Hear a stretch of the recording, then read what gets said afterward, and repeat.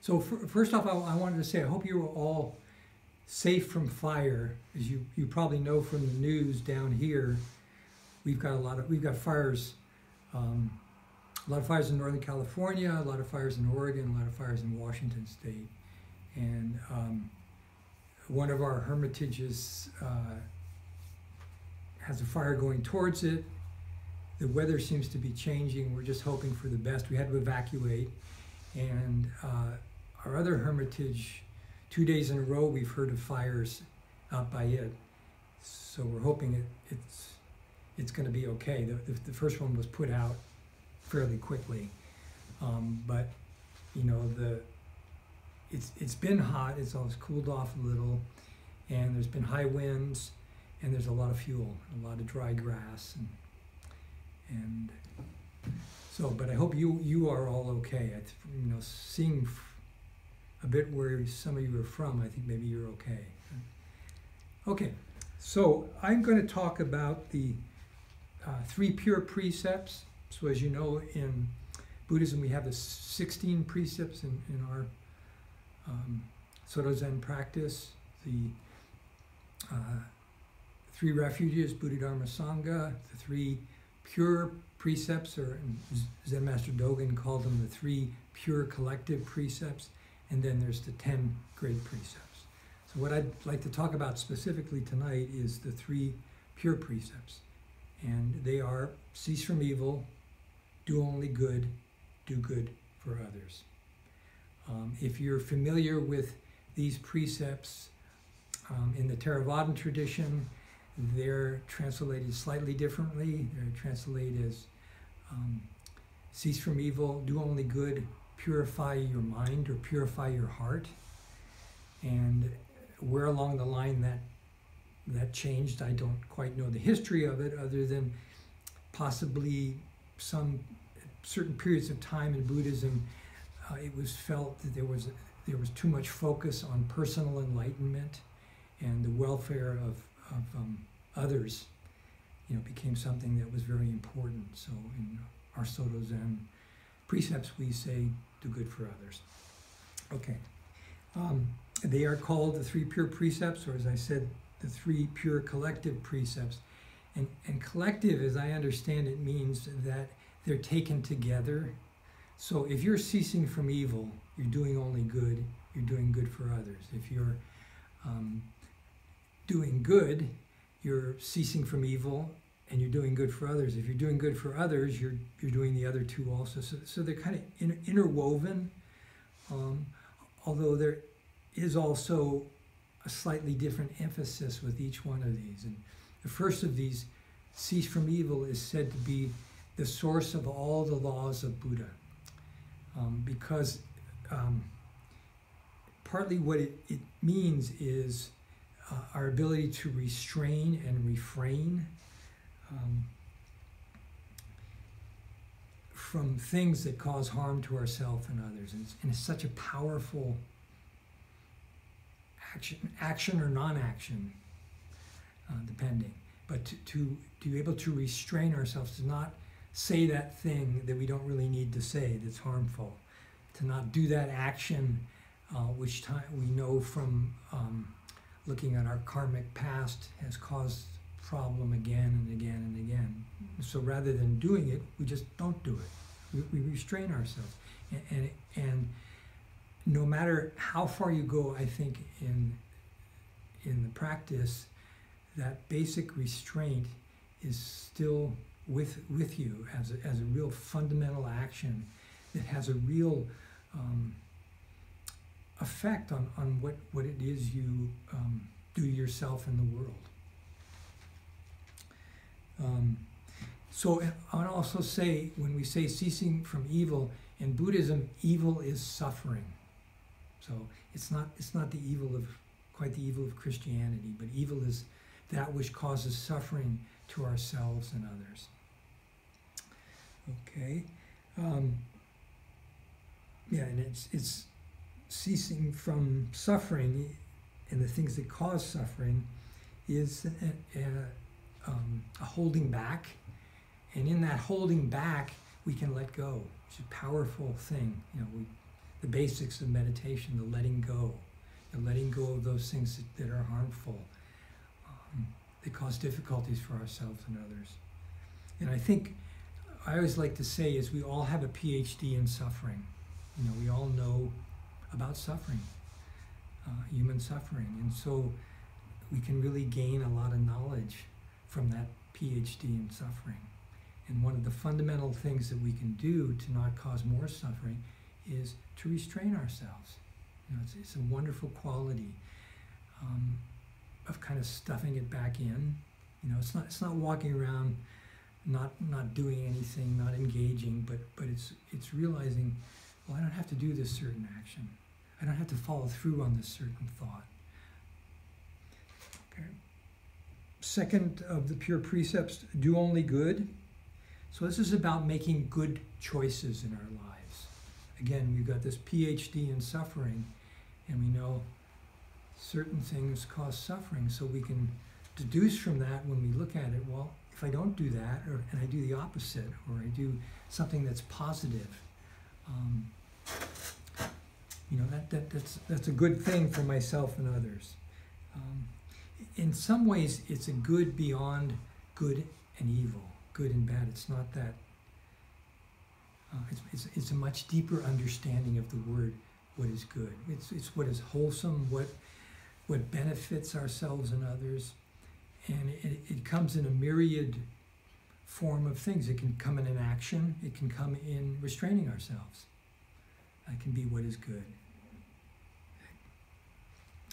Um, then we have do good for others. Okay? As I say in the, in the Theravadan, they say um, purify your mind or purify your heart. Well, I think doing good for others is really purifying your heart because it's really the intention of our heart to do things that benefit people, that benefit the human race, that benefit our world.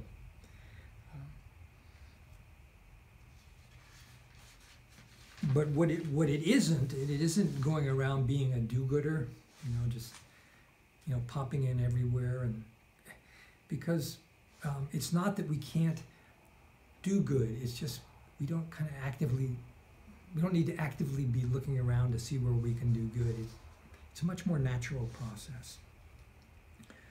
Uh, you know, there's that saying, the helping hand strikes again. So it can be that people are, we're trying to help, but actually we're making a worse, we're making a worse mess of it. We just leave it alone. Um, that's sometimes the best way we can help other beings is just to leave them alone and trust they can work it out. And there are times when, from our experience, from our wisdom, from our compassion, that we can help beings.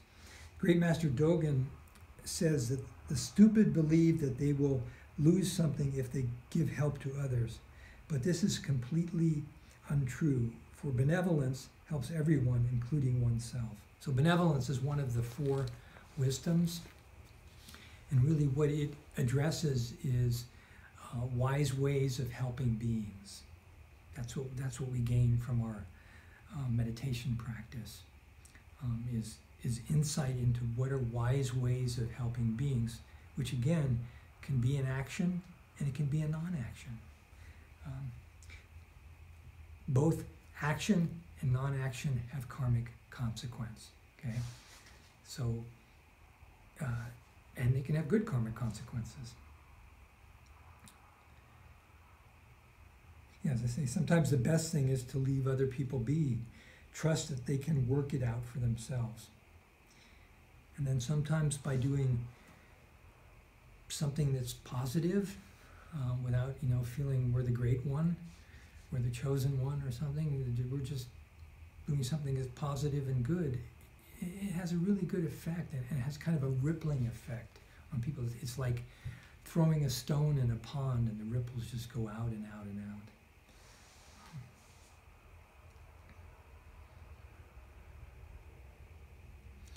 So as we're as we are uh, as we can sit still and get better insight into the consequences of our non-action and our actions, because as I say, they both have karmic consequences.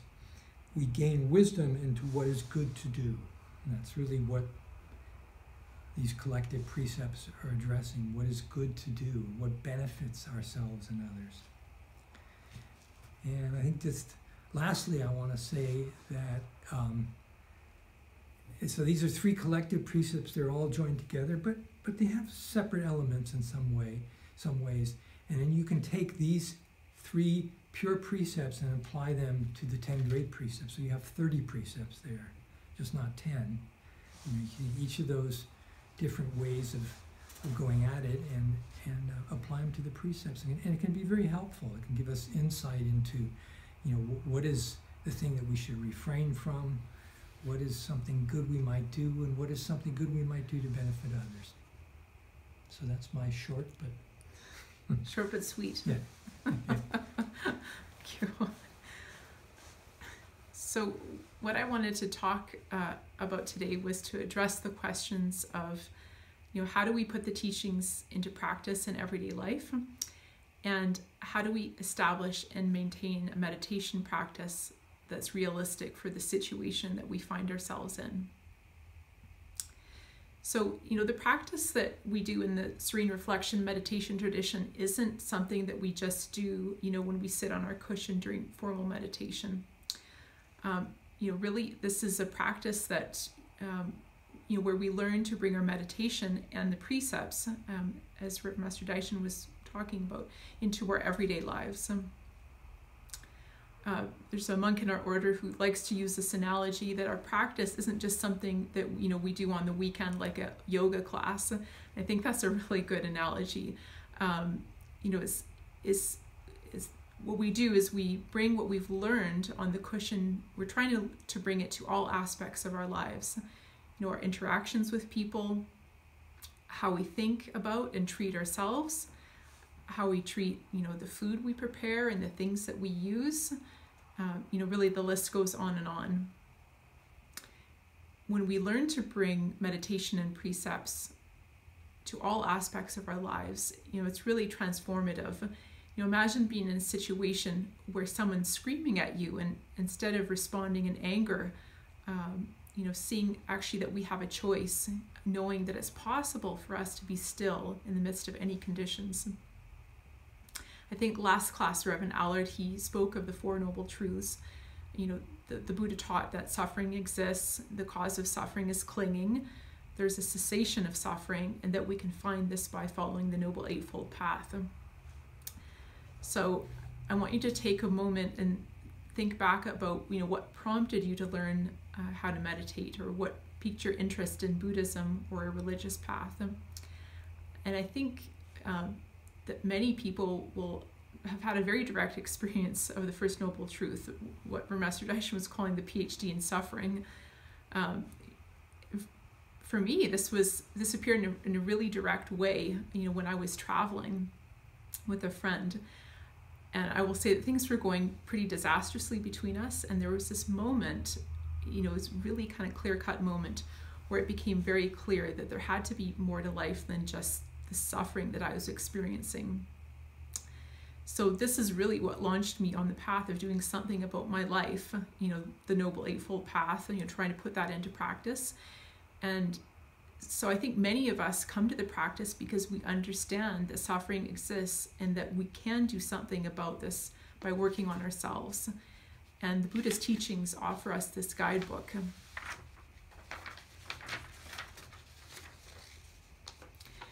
So, what does it mean to, to put the Buddhist teachings into practice in everyday life?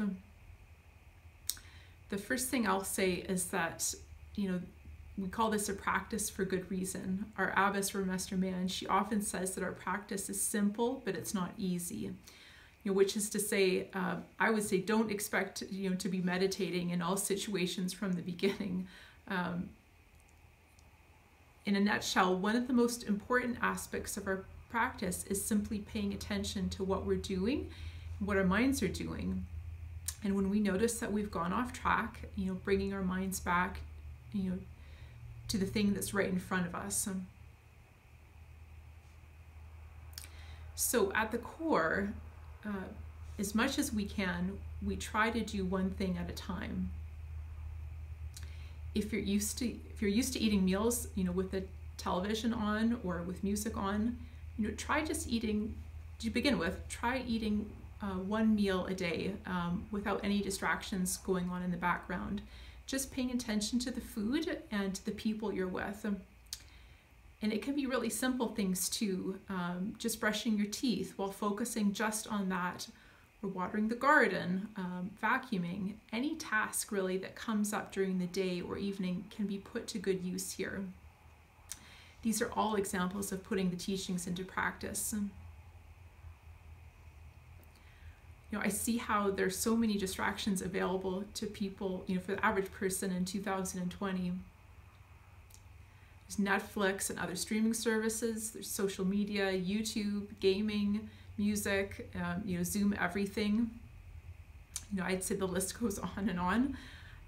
And I think for some people, it's really hard not to be on their phone when there's any downtime in the day. You know, so if you struggle at all with technology, you might just start by setting a goal for yourself, a short period, say 30 minutes or an hour, where you decide you won't pick up your phone and you know, whatever it is you're doing, whether you're going for a walk or a bike ride, reading a story to your child, um, cooking a meal, just try to focus on this one thing. If you have the opportunity in the future to uh, come to the monastery, um, this is exactly what we do during our working meditation periods, and it actually makes up the bulk um, of our day here. So for me, because I'm I'm the monastery cook, this means putting my attention on preparing the food for the community with you know the most care and attention that I can. And because I work with three other people in the kitchen, it also means giving them my full attention and trying to bring that mind of meditation and precepts, you know, to our interactions. So as I'm preparing the food, uh, I try to focus on the task at hand while still noticing the smells and sounds of the kitchen. These are all part of the wider attention. And when my mind wanders to something else, um, I bring my back my, my mind back to whatever you know is in front of me, and I do this over and over, you know, during the working period. Uh, the working meditation, it's important to, to kind of just say here, it's not just this pinpoint um, mind where all I'm doing is chopping the carrots because if I notice this happens actually quite often, I'll hear that something is boiling or I can smell something in the oven. It's usually indication I need to go and check that. Um, so that uh, that paying attention to what I'm doing is also includes this kind of wider circle of other things going on um, around us. So, you know, in, in the beginning, you know, when we start, you know, really trying to apply this to just one thing that we're doing at a time, it might seem that our mind is wandering constantly. Um, but just keep bringing your mind back and actually over time you will you will definitely notice that something will shift and that something will get easier. And this is why we call it a practice. So why do we care about bringing our meditation to all our activities of everyday life? I would say because, you know, when we train our minds to focus on just one task, our formal practice of meditation begins to pervade everything. And suddenly, you know, when we find ourselves in difficult situations, uh, serious injury, devastating news, um, an emergency, you know, got these wildfires going on here right now, you know, that rock, that um, foundation of meditation uh, is there to help us. And because meditation precepts are not separate, we can begin to apply the precepts in these situations where once we might have panicked or responded in fury or jealousy or whatever arises, you know, in that moment. Um, you know, and this is something, of course, we can do even if we haven't formally taken the precepts. Master Daishin was talking about the three uh, pure collective precepts, and actually we can all practice these um, you know, even if we can't remember any of the other precepts, you know, in killing or stealing or whatever it is, but just just coming back to that, um, or even just fundamentally, um, you know, kindness to ourselves, kindness to other beings. So, the second question I wanted to address is, you know, how do we establish and maintain a meditation practice that's realistic for the situation that we find ourselves in? I think that overall, this is probably the most common difficulty that I hear about um, for people who are coming to the practice, and even for many people who've been practicing for, for a while. So, if you if you took science in school, you might understand what I'm about to tell you next. Um, you might remember hearing about Newton's first law of motion in school. Uh, that law says an object at rest stays at rest, and an object in motion stays in motion with the same speed and in the same direction unless acted upon by an unbalanced force. The reason I'm telling you this is because I think it also applies to meditators. You know, if we can begin by establishing a consistent, regular practice, you know, sitting even for five or 10 minutes every day, you know, that momentum will help keep us in motion instead of, say, just sitting 45 minutes once a week. Because it's really the daily practice of formal meditation that acts upon us um, over time. What I think is really important here is, you know, not setting ourselves up to fail, um, actually setting ourselves up to succeed. You know, if we say to ourselves that we have to sit for 40 minutes um, at a time, um, you know, I think this this can be a situation where we might be setting ourselves up to fail. Uh, what I used to do, and sometimes I still do, is I tell myself, you know, that I'm just going to go and sit for maybe 15 or 20 minutes. Um, this is often before bed. I know I can sit that long pretty much without falling asleep. Uh, but if I tell myself that I have to sit for 40 or 45 minutes, I'm much less likely to go and sit. Um, I usually find I have I have things to do, um, or you know, it just all sorts of things will come up in, in between. But if I give myself permission to just sit for a short period of time, what's interesting is I, I will often sit for longer than what I intended intended in the first place. So second thing I will mention is that um, if at all possible, I think it's really nice, you know, if, if you can sit in the morning, um, even if it's just for a really short period. Um, some of you will heard me say this, that when I was a teacher, uh, what I used to do um, is I would sit sometimes on the edge of my bed, even just for a couple of minutes, because the situation I found myself in at that point, I just didn't have a lot of time in the morning. And even though I was just sitting for those couple of minutes um, before I, you know, kind of got myself ready for work, um, I actually, in reflection, I see how important that was because it really helped me to set the tone for the day and it, it gave me something to aim for.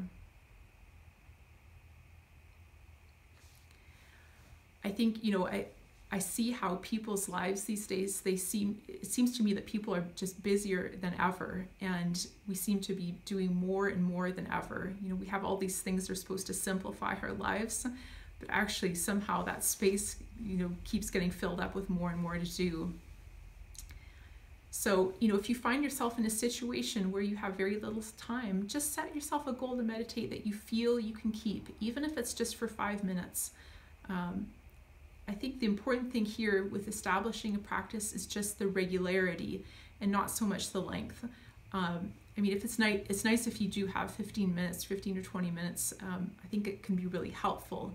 But if, but if all you can manage is five minutes, that's really great. And what's interesting is what you might find is that um, if you're just working on doing one thing at a time, you might notice actually that you free some time up for yourself um, during the day because I think, as many of us know, it's so easy to kind of escape down a rabbit hole. You might be doing one thing, but then you go to check something on the internet, and then half an hour later, you're still doing that thing that you kind of were not intending to do. Um, so I would just add that. Um, to end, I think I just wanted to say that um, I think it's important that we just start where we are in our practice.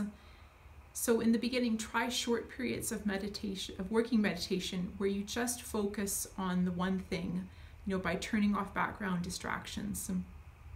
And whatever it is that you're doing, just keep bringing your mind back to that. I think if we want to get our practice off the ground, it's the regular, sustained effort of meditation and precepts in our lives in any way that we can incorporate um, in the day that helps us. Um, and by doing so, you know, the practice really permeates our lives and, helps us to know uh, that true peace of heart.